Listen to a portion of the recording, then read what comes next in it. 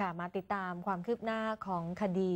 ที่มีการก่อเหตุนะคะ ระเบิดในหลายจุดด้วยกันค่ะ ในช่วงของเดือนมีนาคมจนถึงเดือนกันยายนที่ผ่านมานะคะ มีผู้ที่ก่อเหตุความไม่สงบยิงลูกระเบิด M79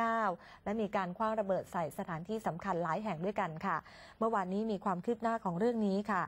ลตำรวจเอกวิเชียนพจน์โพสีผู้บัญชาการตำรวจแห่งชาติ พร้อมด้วยพลตำรวจเอกอัศวินขวัญเมือง รองผู้บัญชาการตำรวจแห่งชาติ และรักษาราชการแทนผู้บัญชาการตำรวจภูธรภาคหนึ่ง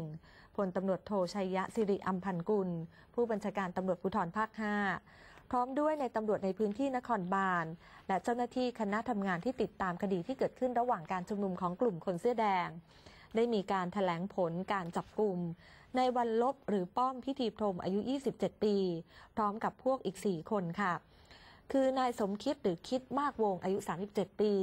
นายวันชัยหรือไก่สั่งข้าวอายุ 34 ปี นายอนันต์หรือเชียนมีรอดอายุ 31 ปี และนายชัดชัยหรือเอ็มโพคานุภาพอายุ 30 ปีค่ะมีของกลางอีกจำนวน 12 รายการด้วยกัน เช่นวงจรหน่วงเวลากับโทรศัพท์มือถือ 2 ชุด อาวุธปืนลูกซองไทยประดิษฐ์พร้อมด้วยกระสุนปืนลูกซองเบอร์ 12 วิทยุสื่อสาร 2 เครื่อง ดินระเบิดชนิด4โฟเส้นผ่านศูนย์กลางประมาณ 6 นิ้ว ผ่านด้วยเทปกาวสีดำจำนวน 2 ลูก ลูกละ 2 กิโลกรัมค่ะ ยังมีเชื้อประทุไฟฟ้าจำนวน 2 ดอก รถกระบะยี่ห้อโตโยต้ารุ่นใหม่ที่เอ็กสีน้ำเงินค่ะ พร้อมกล่าวหาว่าได้ร่วมกันมีและใช้อาวุธปืน และเครื่องกระสุนปืนที่นายทะเบียนไม่สามารถออกใบอนุญาตให้ได้ และมีวัตถุระเบิดไว้ในครอบครองโดยผิดกฎหมาย อย่างที่บอกถ้าจำกันได้นะคะ มีนาจนถึงกันยายนที่ผ่านมาค่ะจะมีข่าวมีเหตุระเบิดเกิดขึ้นหลายแห่งด้วยกัน ทั้งในพื้นที่ของกรุงเทพมหานคร ปริมณฑลและที่จังหวัดเชียงใหม่ค่ะ ก็สร้างความสูญเสียต่อชีวิตและทรัพย์สินของประชาชน ทางตำรวจภูธรภาค 5 ได้สืบสวน แล้วก็รวบรวมพยานหลักฐาน จากกรณีที่คนร้ายยิงลูกระเบิด M79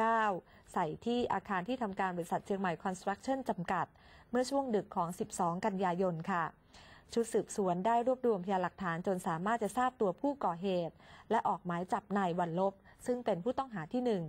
และต่อมาในช่วงกลางดึกของ 21 พฤศจิกายน ก็สามารถจะติดตามจับกลุ่มตัวนายวันลบได้ ที่ปั๊มปตทย่านสายไหมกรุงเทพมหานครค่ะเจ้าตัวในวันลบเนี่ยนะคะให้การรับสารภาพค่ะว่ากระทำความผิดจริง แล้วก็บอกด้วยว่าก่อเหตุลักษณะนี้ในพื้นที่จังหวัดเชียงใหม่ทั้งสิ้น 4 ครั้งด้วยกัน ส่วนกรุงเทพปริมณฑลเนี่ยนะคะทำทั้งหมด 8 ครั้ง ทั้งการก่อเหตุความไม่สงบการยิง M79 ในช่วงที่ทหารเข้ากระชับพื้นที่การชุมนุม ไม่ว่าจะบริเวณใต้สะพานยกระดับประตูน้ำหลังสวนลุม หรือว่าบริเวณถนนอโศก แล้วเขาก็บอกว่าการเข้ามาปะปนอยู่กับกลุ่มนปชนั้น เพราะว่ามีอุดมการส่วนตัวไม่ได้เกี่ยวข้องกับใครค่ะ แล้วก็แฝงตัวเข้าไปเป็นกาดส่วนอาวุธทั้ง M79 แล้วก็อาวุธสงครามอื่น ๆ ไปติดต่อซื้อมาเนี่ยจากตามแนวชายแดน มีผู้ให้การสนับสนุนให้ทุน ซึ่งก็ไม่ขอกล่าวอ้างไปถึงบุคคลที่ 3 เขาบอกจะให้ข้อมูลนี้กับการสอบสวนของตำรวจเท่านั้นค่ะ ส่วนการวางระเบิดแสวงเครื่องต่างๆนะคะเขาบอกว่าตัวเขาเองเนี่ยวางไม่เป็นนะคะซึ่งของกลางที่พบเป็นวัตถุระเบิดในห้องพักที่โครงการเคหะเอื้ออาทรร่มเกล้าเนี่ยก็มีคนที่รู้จักนำมาฝากเอาไว้ แต่ไม่ใช่ของเขาที่จะนำไปวางที่ไหน แล้วก็เพื่อนอีก 4 คนที่ถูกจับพร้อมของกลางก็ไม่มีส่วนเกี่ยวข้องกับเหตุการณ์ยิงระเบิด M79 เช่นกัน ตัวเขาเองเป็นคนยิงระเบิดเพียงแค่คนเดียวเท่านั้นค่ะ ทางด้านของพลตำรวจเอกอัศวินท่านก็บอกว่าจากคำสารภาพของนายวันลบเนี่ยถือว่าเป็นประโยชน์ต่อคดีเป็นอย่างมากนะคะ ก็จะมีการสอบสวนขยายผล ไปยังผู้ร่วมขบวนการในการกระทำความผิดอื่น ๆ ต่อไป แล้วก็มั่นใจว่าต้องจับกลุ่มคนอื่น ๆ ได้เพิ่มอีก รวมทั้งบุคคลที่เป็นท่อน้ำเลี้ยงด้วย ตอนนี้ตำรวจบอกว่าทราบตัวบ้างแล้วล่ะเพราะว่ามีการตรวจสอบจากบัญชีเงินฝาก ซึ่งมีการโอนเงินมีความเคลื่อนไหวของบัญชีอยู่ตลอด ต่อจากนี้จะนำตัวผู้ต้องหาทั้งหมดส่งให้พนักงานสอบสวนของสถานีตำรวจนครบาลร่มเกล้าดำเนินคดีตามกฎหมายค่ะ ส่วนในวันลบเนี่ยจะไปขยายผลค้นพื้นที่ในจังหวัดเชียงใหม่เพิ่มเติม หาพยานหลักฐานอีกนะคะขณะเดียวกันมีรายงานด้วยนะคะว่านายทาริศเพ็งดิตอธิบดีกรมสอบสวนคดีพิเศษ มอบหมายให้กับพันตำรวจโทวรรณพงศ์โคชรักษ์ ผู้บัญชาการสำนักคดีเทคโนโลยีและสารสนเทศ ในฐานะเลขานุการคณะพนักงานสอบสวนคดีก่อการร้าย ประสานไปยังตำรวจชุดที่นำกำลังพร้อมหมายจับ คดีก่อการร้ายของ DSI เข้าจับกลุ่มผู้ต้องหาทั้ง 5 ราย